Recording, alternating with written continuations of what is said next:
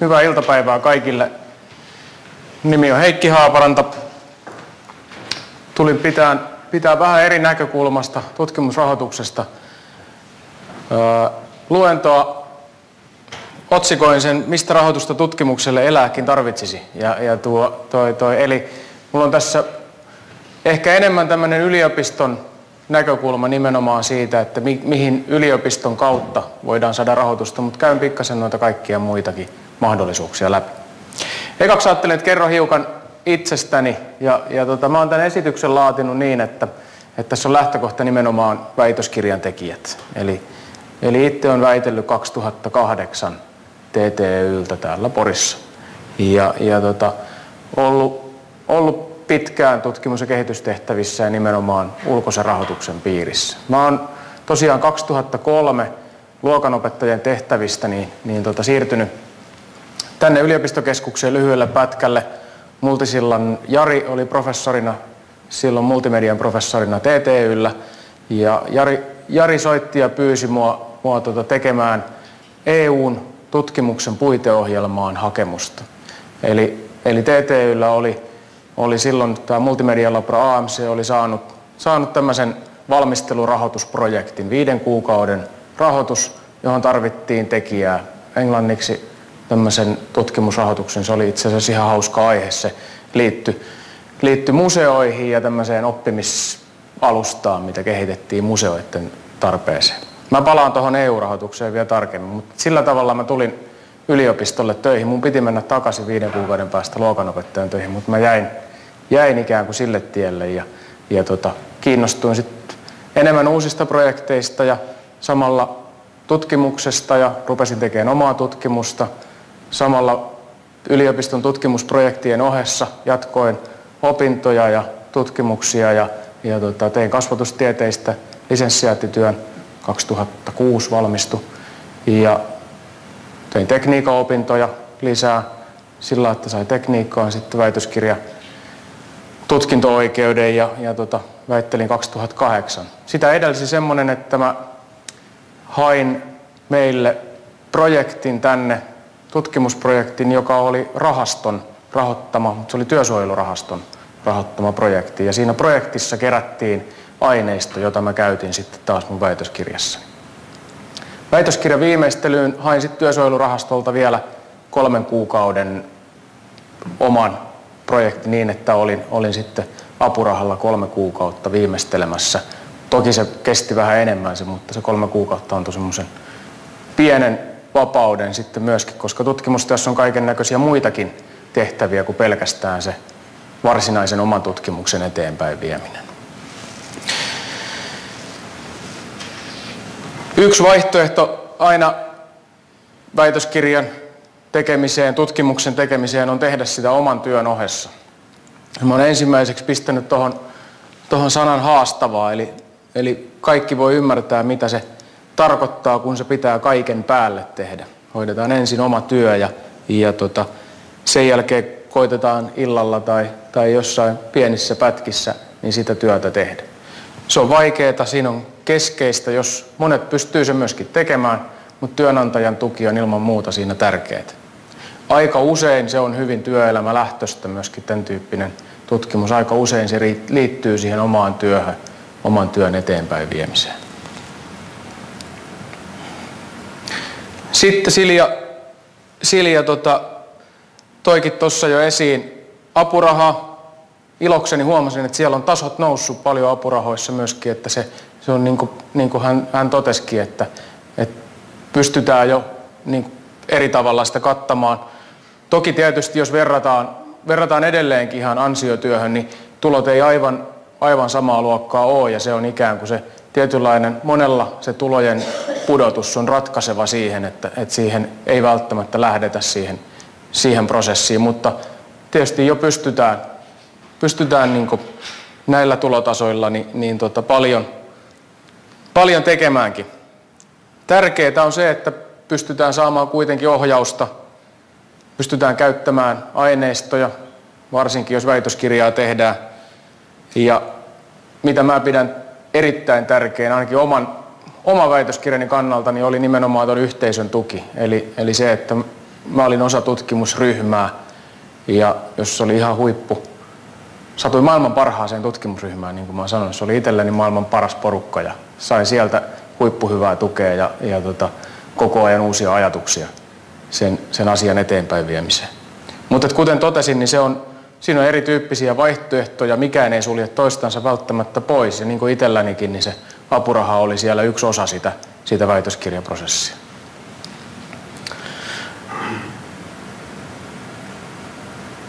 Mutta sitten tuun tähän varsinaiseen aiheeseen, niin mä ää, käyn läpi muutamia rahoittajia, mä käyn niitä hyvin pintapuoleisesti.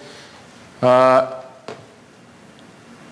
ajatus ei ole, ei ole missään nimessä kertoa tyhjentävästi, enkä pystykään niistä kertoa tyhjentävästi. Mutta tota, ajatuksena kertoo vähän niitä, mikä oikeastaan omaa työhön on kuulunut nyt tässä kauppakorkealla työskennellessäni. Väitöksen jälkeen mä olin muutaman vuoden töissä kaupungilla vetämässä tota, työväenopistoa. Öö, pari vuotta sitten tulin, tulin takaisin tänne yliopistokeskukseen ja kauppakorkeakoululle ja olen tällä hetkellä kauppakorkeakoulun Porin yksikön ulkoista rahoitusta vetämässä, joka tarkoittaa nimenomaan sitä, että, että meillä on ulkoisen rahoituksen porukka, joka on kaikki muulla kuin budjettirahalla töissä. Eli kaikki on jollain tutkimusprojektilla töissä, rahoitus tulee sieltä siihen, siihen jokapäiväiseen työhön. Ollaan projekteilla, se tarkoittaa sitä, että rahoitus on pätkärahoitusta. Eli käytännössä meillä ei ole kukaan, minä mukaan lukien, niin, niin tota, ei olla toistaiseksi voimassa olevissa työsuhteissa, vaan me ollaan pätkillä. Me ollaan sen mukaan, että kuinka paljon meillä projektirahoitusta riittää, niin, niin sen mukaan on työsuhteet. Miten näihin pääsee mukaan? Niin kun me saadaan rahoitusta, niin me haetaan siihen ihmisiä. Meillä on ihan julkisia, julkisia hakuja. Joissakin on yliopiston sisäisiä hakuja, mutta valtaosa tänä päivänä on niin, että niitä ihan julkisilla hakemuksilla haetaan niin. Jos katsotaan apurahan tai väitöskirjan tekijän kannalta, niin tämähän tarkoittaa sitä, että et, et pysty itse määrittelemään samalla tavalla kuin esimerkiksi apurahalla, niin määrittelemään sitä omaa tutkimusaihetta.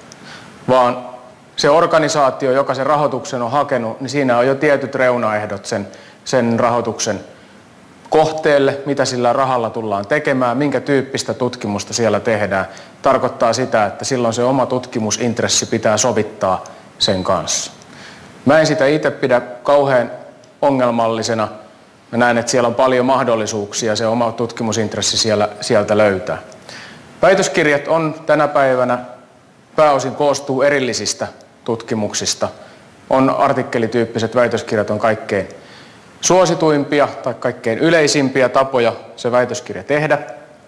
Tarkoittaa sitä, että erityyppisistä tutkimuksista julkaistaan kansainvälisissä lehdissä tutkimus ja, ja tota, näitä myöskin paljon näissä meidän eri rahoituslähteistä tulevissa tutkimusprojekteissa tehdään. Mikä näissä on taustana? Toi Silja toi hyvin esiin sieltä historiassa, että mikä kulttuurirahastolla on, on historia ja kuinka siinä on haluttu suomalaista tiedettä ja taidetta viedä eteenpäin. Oikeastaan sen jälkeen niin yhteiskunta on muuttunut niin, että että tämmöisen menestyvän yhteiskunnan merkiksi on tullut vahva koulutus ja vahva tiede ja sitä kautta vahva elinkeinoelämä. Ja koko ajan enemmän haetaan niitä sen tyyppisiä tutkimusaiheita, jotka tukee sekä tätä tieteellistä osaamispohjan kehittymistä, että myöskin tarjoaa elinkeinoelämälle enemmän ja enemmän mahdollisuuksia kehittyä. Hyvä esimerkki tämmöisestä paikasta maailmassa – missä tiedettä, tutkimusta ja elinkeinoelämää on pystytty ehkä maailman parhaalla tavalla törmäyttämään, on tuo Kalifornia piilaaks.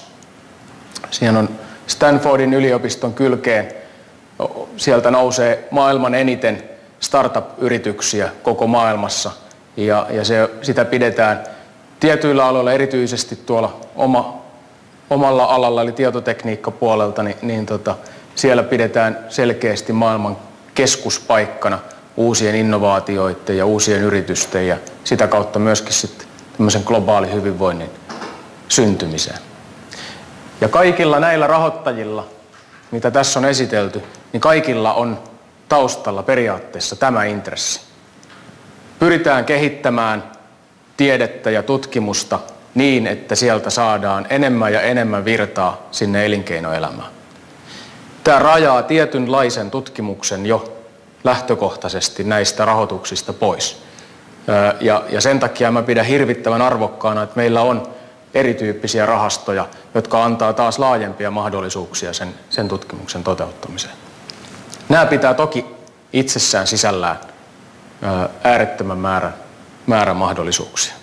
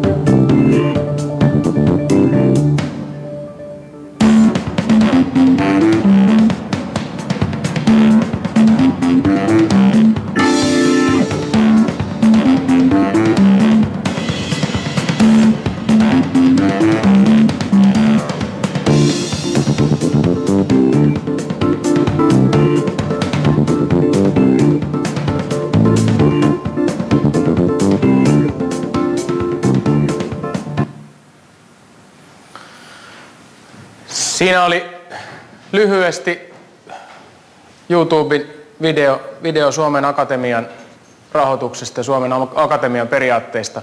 Akatemiassa löytyy selkeästi paljon erinäköisiä toimialoja, mikä ei ole, ei ole puhtaasti elinkeinoelämä suuntautunut. Toki sielläkin elinkeinoelämän painotus näkyy, mutta akatemiassa on hyvin, hyvin monipuolisiakin vaihtoehtoja tutkimuksen tekemiseen. Tässä on nyt näytetty jotain niitä, mitä on tällä hetkellä käynnissä olevia tutkimusohjelmia. Eli, eli akatemia on jakanut toimintaansa myöskin tämmöisten tutkimusohjelmien mukaan, joissa on sitten erityyppisiä hakuja. Karkeasti, jos, jos jaetaan akatemian hakuja, niin sieltä löytyy tämmöistä projektihakua, eli, eli tota, tutkimuslaitoksille suunnattuja hakuja, yhteisöille suunnattuja hakuja ja sitten löytyy akatemiavirkoja, eli esimerkiksi tutkijatohtorin ja akatemiatutkijan virat, akatemiaprofessorin virat, joihin, joihin voidaan sitten hakea. Ne toimii käytännössä niin, että sieltä haetaan rahoitus vaikka tutkijatohtorille, tutkijatohtori osoittaa sen, että hänellä on tämmöinen tämmöinen tutkimussuunnitelma tämmöiselle ajalle,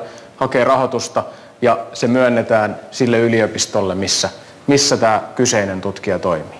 Saman tyylistä rahoitusta löytyy myöskin sitten EUlta suoraan tämmöisen ERC-rahoituksen kautta, kautta, johon sitten lyhyesti puutun tuossa myöhemmin vielä. Ää, Akatemian rahoitusta leimaa aika, no sanotaan, että se on yliopiston kannalta se on, se on kauhean helppoa, helppoa rahaa. Se, sillä pystytään tekemään hyvin vapaasti sitä tutkimustyötä. Eli se antaa, yliopisto toimii palkanmaksajana, mutta silti se antaa ison vapauden sekä sen raportoinnin että tutkimuksen tekemisen kannalta siihen, siihen tutkimustyöhön, joka tarkoittaa käytännössä sitä, että se on hyvin kilpailtua. Ja, ja se tarkoittaa sitä myös, että ennen kuin akatemian rahoitusta voi saada, niin täytyy olla pitkä julkaisuluettelo ja kovia kansainvälisiä julkaisuja. Yhteisölle suunnatut tutkimusprojektit Suomen Akatemialta tarvitsee hakijan ja hakijan pitää olla professori tai, tai vähintään dosentti. Ja niissä pitää olla myöskin, hakemuksissa pitää olla tarkat hyödyntämissuunnitelmat, julkistamissuunnitelmat mitä tullaan tekemään, mutta antaa monipuolista, joustavaa rahoitusta. Kansainvälinen yhteistyö näkyy näissä kaikissa rahoittajissa, mitä me tässä on, niin kaikissa on niin enemmän ja enemmän merkitystä. Akatemiassa muistaakseni jopa vaaditaan tällä hetkellä, että se pitää se kansainvälinen ulottuvuus kaikissa hakemuksissa näkyä.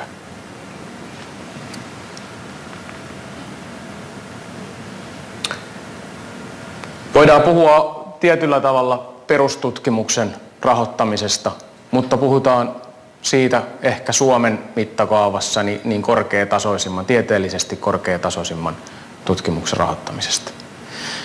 Täällä on joitakin akatemiaprojekteja. Mäkin on, on silloin työskennellyt pienen pätkän akatemiarahoitteisessa projektissa silloin väitöskirjaa tehdessäni. Ja joitakin akatemiatutkimusvirkoja, tutkijatohtoreita on, on Porissakin. Mä en tiedä onko tällä hetkellä, mutta on ainakin ollut, että tiedän. Ja, ja. Sitten oikeastaan voisi lyhyesti mennä tuohon tekessiin.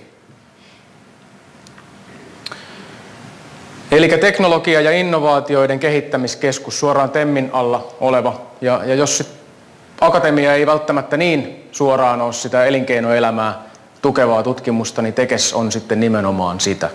Eli, eli TEKES on iso, iso rahoittaja Suomessa, nimenomaan tämmöisen elinkeinoelämälähtöisen tutkimuksen kannalta se merkittävin ja tärkein varmasti. On myöskin aktiivinen toimija laajasti tämän, tämän tutkimuskentän ympärillä eri, erityyppisissä toimissa, mitä siinä on. Eli siellä näkyykin tuo heti, tämä on Tekesin avaussivulta tänään napsastu, napsastu kuva, ruutukaappaus. Siellä näkyy pk-yritykset, suuret yritykset, tutkimusorganisaatiot, julkisten palvelujen tarjoajat. Tarkoittaa sitä, että on aika laaja spektri erilaisia mahdollisuuksia. Täällä on ihan tuotekehityspanoksista yrityksille, niin, niin sitten sitten tota erilaisiin yhteisiin tutkimusprojekteihin, mitä, mitä TEKES pystyy rahoittamaan. julkisille organisaatioille on olemassa pikkasen eri, erityyppiset ö, rahoitusperiaatteet, mitä sitten taas yksityisille. Täältä voi siis yritykset myöskin hakea sitä tutkimusrahoitusta. Jos katsotaan ihan konkreettisesti, mitkä ne yleisimmät tavat on, on Tekessistä sitä rahaa saada, on se, että Tekessissä on auki joku tutkimusohjelma, taas joku tietty. Tuossa on esimerkiksi nyt semmoinen käynnissä iso tutkimusohjelma seuraaville vuosille kuin Fiiliksestä fyrkkaa, mikä, mikä pyrkii tuomaan tämmöisiä luovan talouden ilmiöitä ja pohtimaan sitä, että miten niistä pystytään tulevaisuudessa luomaan bisnestä. Ja siellä on olemassa haku, johon muodostetaan jonkinnäköinen porukka, missä on yrityksiä. Yrityksiltä täytyy tulla vähän yritysrahaa, missä on aina määritelty tietty prosentti, kuinka paljon yrityksiltä täytyy tulla yritysrahaa, ja sen jälkeen siinä voi olla, voi olla tutkimuspanosta. No, toisaalta voidaan, voi mennä myöskin niin, että sieltä voi yritykset hakea suoraan rahoitusta jonkun ongelman, jonkun haasteen taklaamiseen, ja he voi ostaa sitten siinä ikään kuin sillä projektirahalla, niin he voi ostaa sitä tutkimuspanosta sitten, sitten yliopistolta tai tutkimuslaitoksilta. Nämä on ne mun käsityksen mukaan yleisimmät. Näistä varmasti pystyy Tekesin edustajat ja vastaavalla tavalla edellisestä, niin akatemian edustajat pystyy antamaan paljon tyhjentävämpää ja täydentävämmän esityksen, mutta tämä on se mun arkipäivän kokemus tuolta, tuolta rahojen hakijan näkökulmasta.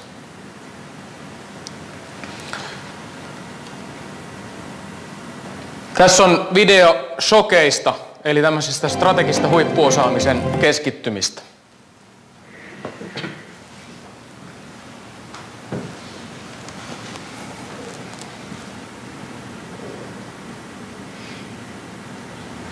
Sikäli mikäli toimii.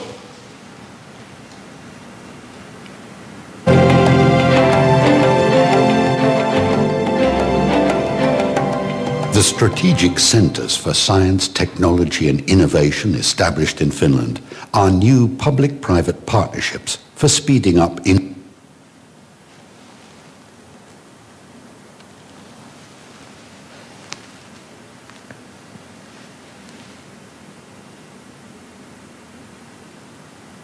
Mä pistän hetkeksi aikaa poikki, niin se latautuu sillä aikaa. Eli, eli tota, Tekesillä on erityyppisiä malleja, millä he pyrkii tätä nimenomaan tätä elinkeinoelämää kehittämään ja elinkeinoelämän ja, ja tutkimuksen tiiviitä yhteistyötä. Yhdet tämmöiset merkittävät, mitä on, on luotu, nämä on hyvin pitkälle suuryrityksille ö, suunnattuja, on tämmöiset strategiset huippuosaamisen keskittymät. Ja, ja tota, tässä on esitelty, mitä, mitä tämmöisiä strategisen huippuosaamisen keskittymiä tekes, tai on, on perustettu ja, ja minkä tyyppiset periaatteet siellä on taustalla.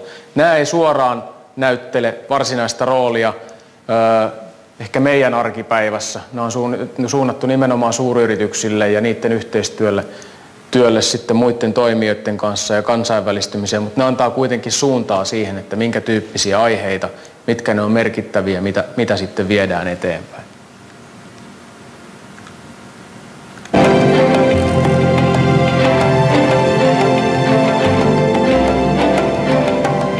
The strategic centers for science, technology and innovation established in Finland are new public-private partnerships for speeding up innovation processes. We base the whole program and all the projects in the program to the fact that of course we need to be networking with the best, also internationally. We are very specialized. We aim to be differentiated in, in many ways and we base our strategy on, on, on knowledge. Okei, hypätään eteenpäin. Se tökkii video sen verran. Joka tapauksessa se, että Tekesin rahoitus meidän näkökulmasta on sitä, että, että me päästään myöskin mukaan siihen suomalaisen elinkeinoelämän kehitykseen ja ollaan osa sitä nimenomaan globaalia kehitystä myöskin missä on ne kaikkein parhaimmat pelurit. Päästään sitä kautta kaikkein parhaimpien pelurien kanssa myöskin tekemään. Myöskin se, että Porissa, jos me pystytään saamaan tänne hyviä tekesprojekteja, luomaan kontakteja yrityksiin, niin saadaan aidosti myöskin sinne yrityksiin vietyä sitä osaamista ja tietämystä, mitä taas sitten tiedepuolella on. Eli, eli ajatus on se, että pystytään rakentamaan rajat ylittäviä kumppanuuksia sekä julkisen puolen toimijoiden, tutkimuslaitosten että sitten yritysten välillä. Tekes on uusimassa, uusimassa rahoitustansa ja, ja tota, tässä on julkiseen tutkimuksen eli nimenomaan yliopistoille suunnattuun tutkimukseen, minkä tyyppisiä projekteja ja mitä, ää, mitä ovat ne rahoitusosuudet sitten näissä projekteissa. Ja tuossa on esimerkiksi elinkeinoelämän kanssa verkottunut julkinen tutkimus. 70 prosenttia mahdollista saada tekesin rahoitusta, 10 prosenttia tarvitaan sitä yritysten omaa panostusta, yritysten rahaa. Eli vaikka on tutkimusprojekteja, niin ne täytyy rakentaa niin, että siellä on selkeä intressi sillä yrityksellä olla siinä mukana, jotta yritys voi niihin panostaa myöskin omaa työaikaansa ja myöskin ihan käteistä rahaa. Sitten on, on uusia, on strategisia tutkimusavauksia, mitä on tämmöisiä isompia ja pienempiä. Ja, ja toisaalta tämmöistä tutkimusideoista uutta liiketoimintaa, ää, rahoitusta, missä pyritään sitten saamaan nimenomaan täältä tutkimuspuolella toimivilta ihmisiltä niin, että se oma tieto paketoitaisiin ja, ja saataisiin siitä rakennettua vaikka omaa liiketoimintaa. Tämä lyhykäisyydessään Tekessistä.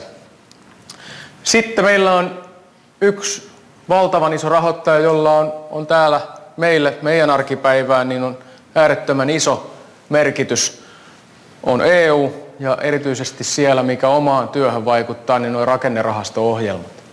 Meidän on tutkijoista, projektihenkilökunnasta valtaosa on nimenomaan rakennerahasto ja EAKR tuella tällä hetkellä kauppakorkeakoulussa, niin ulkoisella rahoituksella niin on töissä.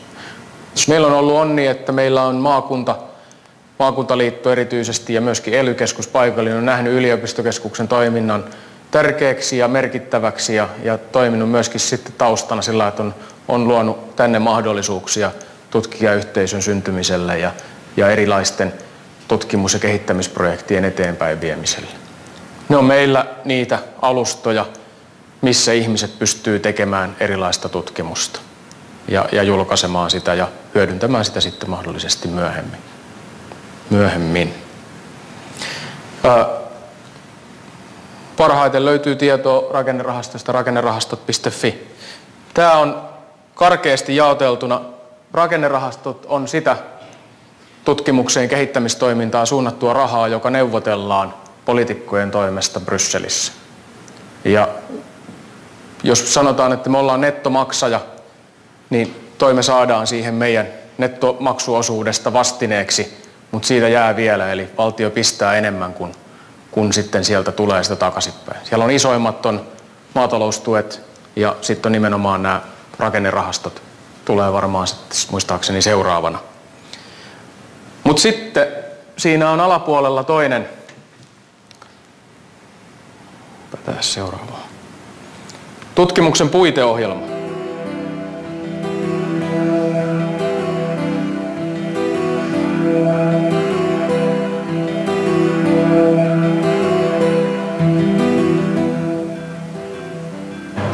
Reasons for us to participate in the, in the EU framework program was uh, the intellectual property rights that are potentially uh, available in these collaborations, also the ability or the possibility to, to work with uh, renowned scientific institutes and, and be part of this network was quite important to us.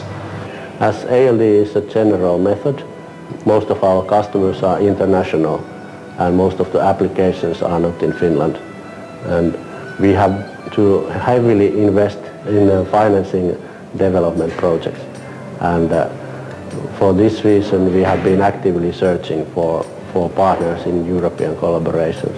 Uh, wave energy sector in overall is, is very capital intensive sector. We are building a big scale uh, demonstration projects and, and, and therefore uh, we were really driven to participate in the, into this kind of call.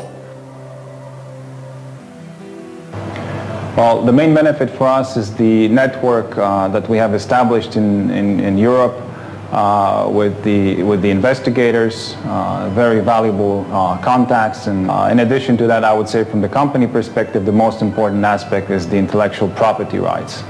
Uh, these these have the highest value, of course, and have to be aligned with the business strategy of the company.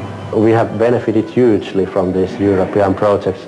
We have found new Aika partners. vähissä mä hyppään eteenpäin. Mulla on tuossa linkki puiteohjelman peruskouluun, jos, jos kiinnostaa vielä tarkemmin. Mutta lyhyesti puiteohjelmasta. Se on siis ää, suoraan Brysselistä haettavaa rahaa. Eli siinä ei ole, ei ole paikallisia viranomaisia, ei ole siinä välissä vastaavalla tavalla, kun rakennerahastot myönnetään sitten tänne tietyn suuruisena ja, ja sitten ne täällä, täällä sitten jaetaan erityyppisiin tarkoituksiin. Mutta puiteohjelma on suoraan Brysselistä haettavaa rahaa. Eli käytännössä mitä enemmän me saata, saadaan tänne Suomeen puiteohjelmaprojekteja, oli se ammattikorkeakoulu tai, tai yliopistot tai, tai yritykset, sitä pienempi meidän nettomaksuosuus on, on EUlle. Eli siellä on aika iso määrä rahaa tässä puiteohjelmassa. Silloin kun mä oon tullut tekemään ensimmäistä hakemusta, niin se meni viidenteen puiteohjelmaan. Tässä on välissä ollut kuudes puiteohjelma ja nyt on päättymässä ää, seitsemäs puiteohjelma tänä vuonna. Ja 2014 alkaa uusi tutkimuksen puiteohjelma, joka on, on nimetty semmoiseksi kuin Horisontti 2020. Seitsemäs puiteohjelma, muistaakseni neljä vai viisi vuotta, joku voi korjata, pitkä ohjelma, niin siellä oli 50 miljardia euroa rahaa.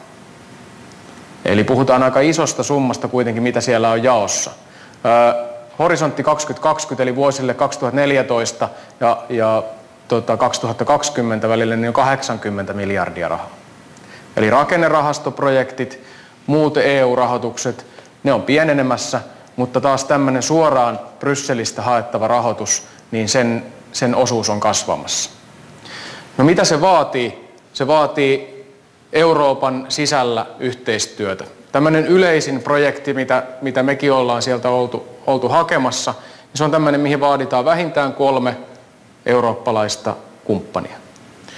Tämä, nämä samat vaatimukset, mitä tuolla akatemian projekteissa ja tekesprojekteissa tulee, niin ihan samoja niitä vaatimuksia löytyy sieltä näistä suorista EU-hauista ja puiteohjelmaprojekteista.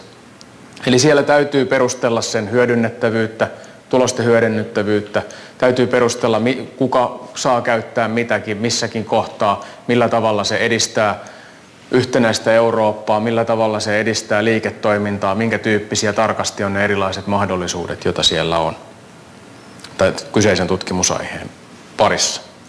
Siellä on, tämä on jaettu eri tyyppisiin ja eri kokoisiin ohjelmiin, tämä puiteohjelma, eli siellä on myöskin sisällä erilaisia rahoituskohteita, joihin on myöskin tämä budjetti sitten allakoitu niiden eri, eri rahoituskohteiden alle. Ja nämä eri rahoituskohteet järjestää sitten tiettyinä aikoina hakuja. Suomalaisten äh, ehkä heikkous on siinä, että me vaan osallistutaan niihin hakuihin, kun siellä ilmoitetaan, että no niin, että nyt on tämmöinen ja tämmöinen haku, niin pistetäänpä paperit siihen ja katsotaan sitä, millä tavalla se sopii. Kun taas erityisesti hollantilaiset ja irlantilaiset ja, ja tota, aktiiviset EU-maat ja vanhat ketut ja tekijät, niin on olleet jo kirjoittamassa niitä hakemustekstejä. On jo niin vahvasti verkottuneita Brysseliin ja tähän ikään kuin tähän Brysselin tutkimuskenttään, että he pystyvät vaikuttamaan siihen, että minkä tyyppisiä asioita sieltä tulee esiin. Öö, hetki sitten oli, oli, taisi olla viime viikolla, tuli jonkinnäköinen dokumentti myöskin Brysselin loppareista. Öö, siellä vaikuttaa valtava määrä eri suuryritysten ja, ja myöskin yliopistojen ja, ja tota, kaupunkien ja alueiden loppaajia, jotka nimenomaan koittaa tuoda niitä oman alueen, oman yrityksen, oman yli, yliopiston ö, intressejä ja etuja esiin näissä valmi, jo näissä valmistelutöissä. Arviointi, johon nämä, nämä tota, projektit sitten, kun sinne osallistutaan johonkin projektihakuun, niin arviointi on tämmöinen anonyymi, sinne voi kuka tahansa ilmoittautua tämmöiseksi ekspertiksi ja sinne valitaan näitä eksperttejä sitten oman osaamisen perusteella ja, ja ne arvioidaan siellä ne projektit. Toki siellä on, on sitten tämmöinen komission puolesta tämmöinen project officer, joka, joka tota, sitten myöskin sitä valvoo, että se, se menee sitten niiden ohjeiden ja hakusääntöjen mukaisesti, jota, jota siinä sitten kulloinkin noudatetaan. Mutta kyseessä on, on myöskin iso kokonaisuus, joka pitää sisällään erityyppistä rahoitusta. Niin kuin mä sanoin tuossa aikaisemmin, niin täällä on sisällä myöskin esimerkiksi tämmöinen ERC-rahoitus, joka on taas hyvin vastaavanlaista, mitä Suomen Akatemian myöntämä rahoitus, missä tärkein tavoite on, on äärettömän korkeat nimenomaan tieteelliset ansiot. Eli se on lähtökohtana ERC-rahoituksessa. Suomalaisten osuus puiteohjelmassa on, on heikko. Me ei haeta tätä rahoitusta riittävästi. Me ei tunneta tätä riittävästi eikä olla liian rohkeita, riittävän rohkeita tänne myöskään menemään. Hakemusprosessi on todella työläs.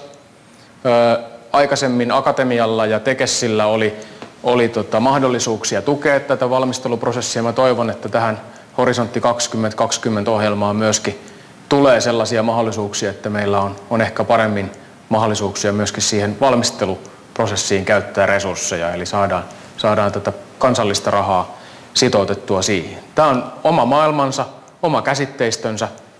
Mä olin aika järkyttynyt silloin 2003, kun mä tulin tekemään ensimmäistä EU-hakemusta. Ja, ja tota, Jari sanoi, että mulle Multisella Jari sanoi, että mulla tämmöinen olisi tehtävänä ja toi aineistot ja sitten se kippasi siihen semmoinen kansiollinen englanninkielistä tekstiä ja päällä luki vaan, että Financial Guidelines for EU Framework Program 5. Ja, ja tota, mitään en ymmärtänyt, kun sen aloitin, mutta et, että tota, kyllä se aukeaa. Meillä on hyviä koulutuksia, hyviä infotilaisuuksia Suomessa, joissa käy ihan liian vähän väkeä, eli, eli niitä pitäisi mun mielestä, toivoisin, että tämä olisi semmoinen puoli, mihin enemmän ja enemmän pystyttäisiin satsaamaan. Sen sijaan, että kilpaillaan täällä paikallisista rahoista niin, niin tota, tai kansallisista rahoista, niin pitäisi osallistua enemmän siihen kansainväliseen kilpailuun.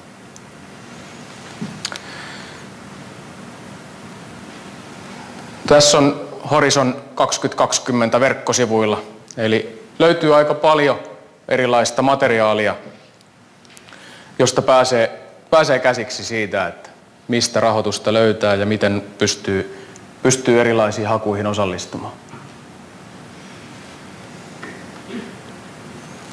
Ja linkki myöskin sivustolle.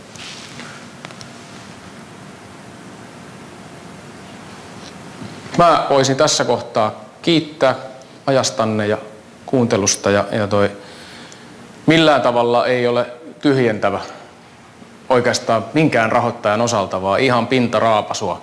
Mutta tämän tyylisten rahoittajien kanssa pääpiirteittäin kuitenkin me täällä työskennellään, koitetaan hakea sitä rahoitusta ja kun jotain saadaan, niin sitten haetaan hyviä, halutaan hyviä ihmisiä, hyviä tutkijoita meille näihin projekteihin töihin ja, ja tekemään myöskin tutkimusta ja kehittymään ja kehittämään koko Suomea ja maakuntaa. Kiitoksia.